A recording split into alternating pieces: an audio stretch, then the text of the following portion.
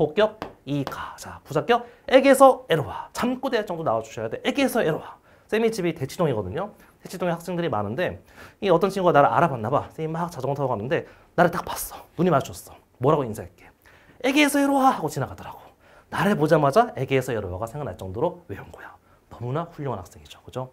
여러분도 그렇게 돼야 돼. 잠꼬대를 에게에서 에로와 하면서 잘 수 있어야 돼요. 에게에서 에로와가 뭐라고? 부사격 조사라고. 그지?